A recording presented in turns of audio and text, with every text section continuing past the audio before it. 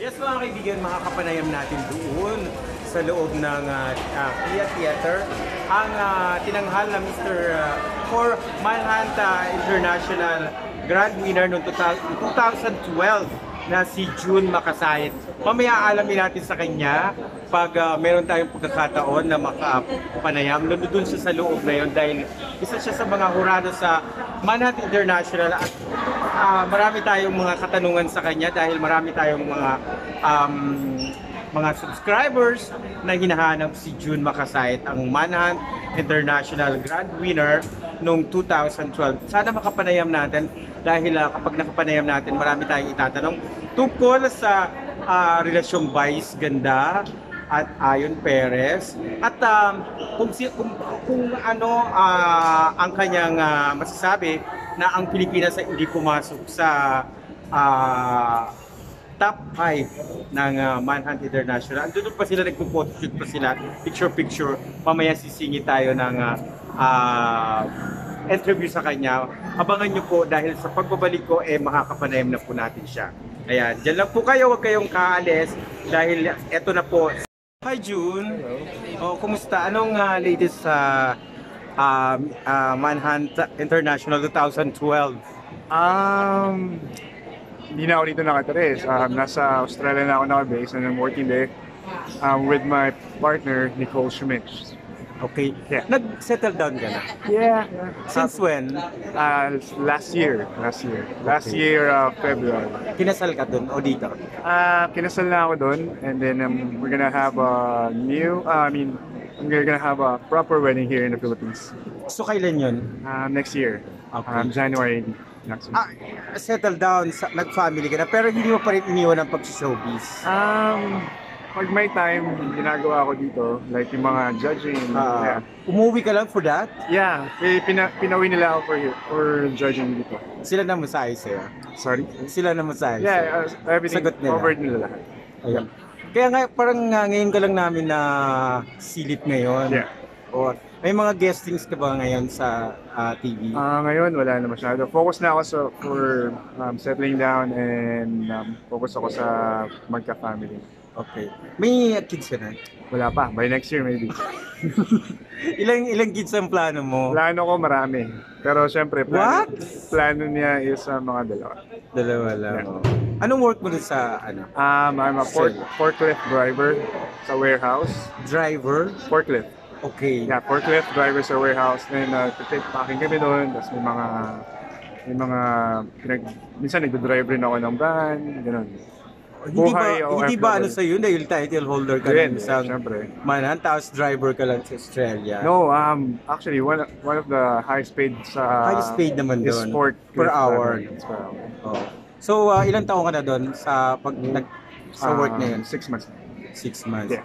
So, uh, Happy naman ako sa work. happy ka. Yeah. Oh, hindi And- naman siya mabigat. Mahi- mahirap trabaho. Mahirap. Mahirap siya. Mahirap kasi buhat, tapos yung mga sa warehouse. Pero ano, wala ka bang namimiss dito sa Pilipinas? Ah, namimiss ko dito yung pamilya ko, syempre. Um, yan, yung crowd na... yung career, yung career. Career niya. Tapos yung mga naka-appreciate ng mga tao. Ba't bigla ka nag-settle down? Ah, umibig.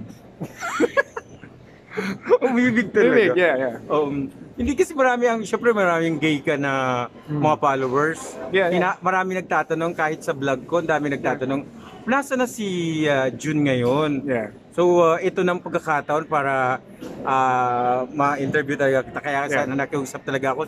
And then nagkataon na wala naman ng mga tao, so wala na nagpa-picture I mean, sa'yo kasi pauwi ka na. Thank you sa so pag-approach. much. Ayun, June, um, nung mga panahong ano, balikan natin yung mga panahong uh, uh, in demand ka talaga sa mga Yeah. contest. Yeah. Ah, sumasali ka nun sa mga ah, sumali ka ba sa mga bikini contest noon? Hindi.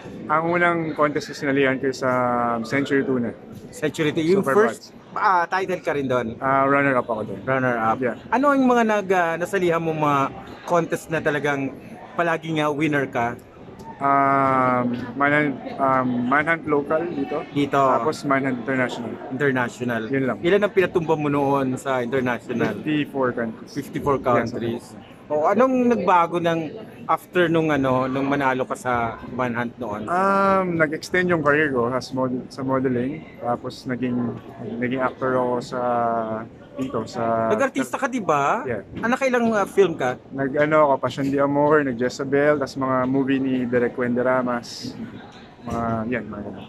Ah, okay. June, nung mga panahon mo, syempre, ah, in demand ka talaga noon at maraming bading na Yeah. naghahabol sa'yo. Talaga. Ayan. Yeah. Um, ah, it's up to you kung sasagutin mo. Yeah, yeah. May, may ano ka ba? May, ah, nas, may mapalad ba na bading noon na napagbigyan mo or Hindi. na na kumbaga nat, natapunan mo ng attention?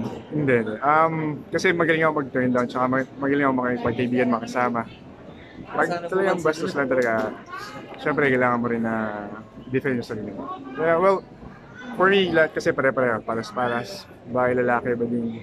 Sa may respeto ka sa kanila, kailangan respetuhin ka rin nila. Oo. So, so, so, sa, palag, sa panahong napakaraming nakakasalamuha mo, Yeah. ano yung pinaka the best na makasama? Ang bading o ang ah, mga babae? Pareho. Pareho. Pareho. Yeah. Pareho ka nagbibigay ng attention din sa kanila. Yeah, ano ako magbigay ng attention sa kanila, parang ah, balance. Balance Yeah, lang, kasi feel lang. parang tao yan. Ayun. Yeah.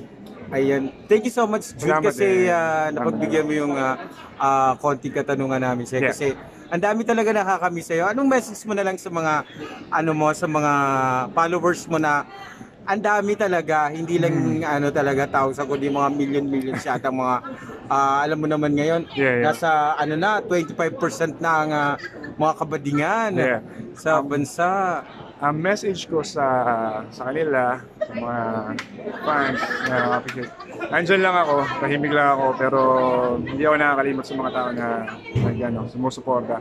And don't worry, nag, uh, magpo-post pa rin ako ng mga updates sa life ko. And yeah, yun. God bless you all. Thank you. Ayan, isa last question. Yeah. Anong anong ah, mag- ah, isang dahilan na mapapabalik ka dito sa Pilipinas para magstay ka na or dito ka na magstay talaga? Ah, dito ka na mag-work. Ah, siguro kung may mas magandang career na mababalikan and magsusuportahan ako nung nung asawa ko na bumalik kami dito and magkaroon kami ng better life. Yeah. Maraming salamat, Thank you Jun. so much. Thank you. Jun, um, kasi nakatrabaho mo si ah, Vice Yeah. before, di ba? Eh siya ngayon may, medyo masaya na sa Hmm. ah, relasyon niya kay Ayon. Ano masasabi mo sa ganong ano? Yeah, dapat dapat kung saan tayo happy, um, kung saan tayo happy, syempre dapat nating respeto yun at dapat natin treasure kung ano yung moment na nandun. Um, kay Vice, happy ako sa relationship nyo, sa supportan ko yan. Ako na happy ka sa mga post mo, yun na it up. Nung pa- panahong ano, nung panahong nakasama mo siya sa, sa project, Hmm. hindi nagpa ano sa nagpahaging si Vice. Hindi, hindi. Mabait lang talaga si, ano, si Vice. Ah, kumpare ko pa si, kumpare ko si Vice sa pinsan ko sa inaano. Talaga. Yeah. Kaya friend kami. friend lang talaga. Oh.